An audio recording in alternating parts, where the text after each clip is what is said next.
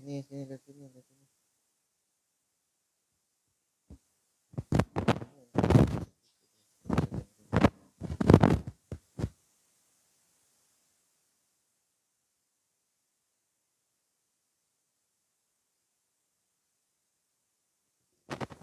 Udah mulai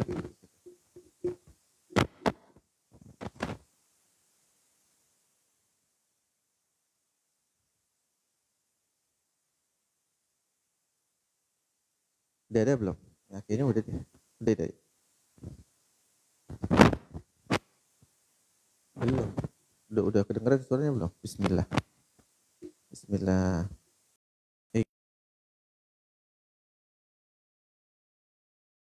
Assalamualaikum warahmatullahi wabarakatuh.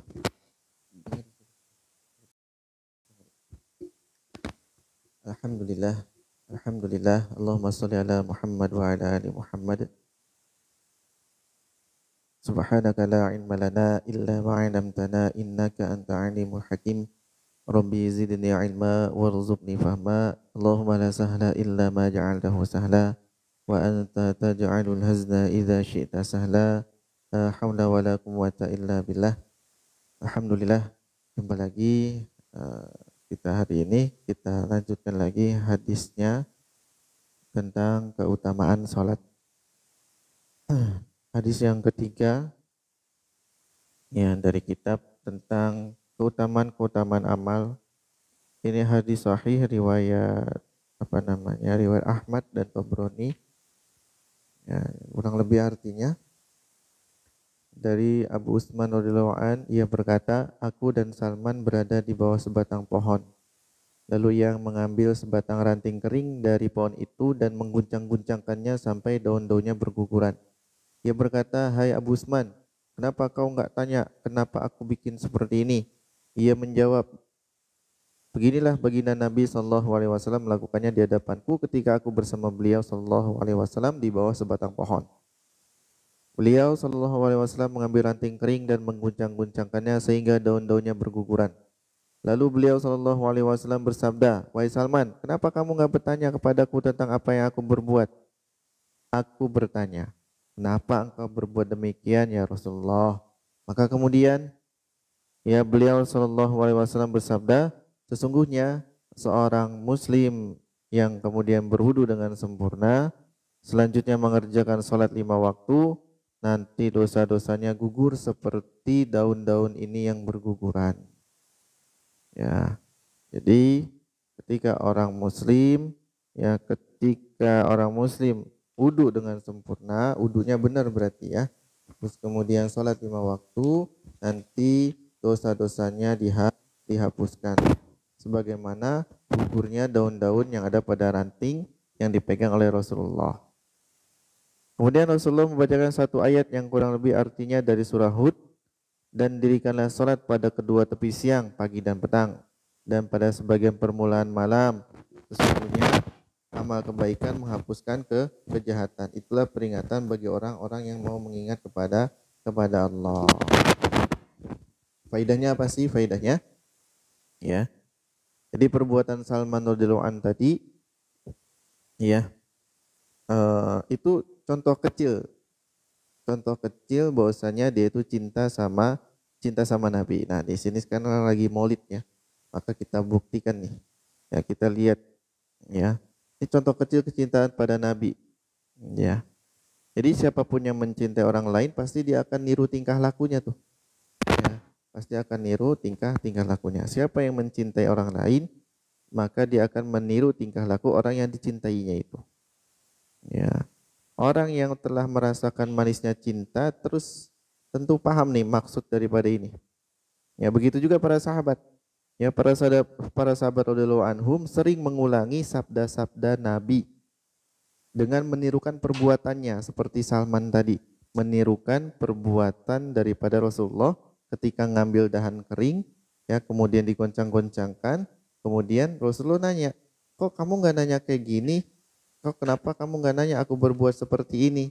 gitu. Terus sahabat yang menyampaikan lagi ke sahabat yang lain, sama goncang-goncangin ranting, Terus habis itu um, apa namanya?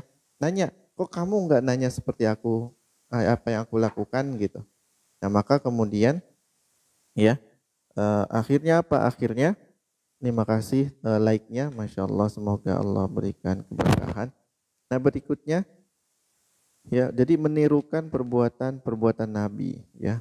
Nah di sini hadis ini lagi ngebahas tentang pentingnya sholat sini duduk sini. Ini hadis tentang pentingnya sholat. Jadi sholat itu kan penting ya Sholat itu kan penting.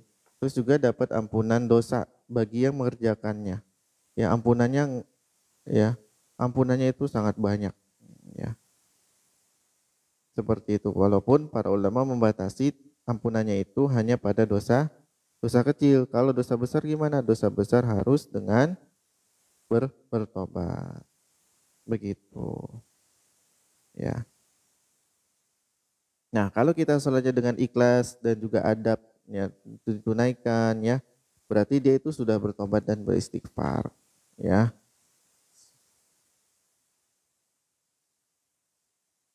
Nah, tadi juga kita dipinta untuk menyempurnakan wudhu. Ya, menyempurnakan wudhu tuh berarti wudhunya yang benar. Jangan buru-buru wudhunya, ya. Wudhunya yang benar, ya. Ya, yang rapi wudhunya, wudhunya yang benar ya. Jazakallah yang sudah gabung. Ya, ada Pak Mawardi. Semoga berkah. Nah, jadi hadis tadi menunjukkan nah, seorang muslim ketika dia menyempurnakan wudhu kemudian sholat lima waktu maka dosa-dosanya akan dihapuskan sebagaimana daun-daun yang berguguran dari ranting ini. Nah, kebetulan ini kita pakai background pohonnya jadi pas ya. Nah, itu hadis riwayat Ahmad, hadis sahih ya. Jadi perhatikan wudhunya. Perhatikan wudhunya, adabnya, sunahnya gitu ya. Salah satu sunnah berwudu itu bersiwak. Nah, ini bersiwak. Salah satu adab berwudu adalah bersiwak. Ya, eh, sunnah wudu. Ya, sunnah wudu itu adalah bersiwak. Nah, ini sering diabaikan. Nah, disebutkan dalam sebuah hadis.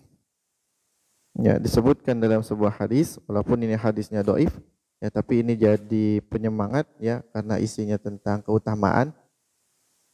Siapa yang sholat dua rakaat dengan bersiwak, lebih utama daripada sholat 70 rakaat tanpa bersiwak. Ya. Terus juga dalam hadis lain, ya jagalah siwak karena dalam siwak ada keutamaan, ada 10 keutamaan. Satu, membersihkan mulut. Dua, menyebabkan Allah ridho. Tiga, membuat setan marah.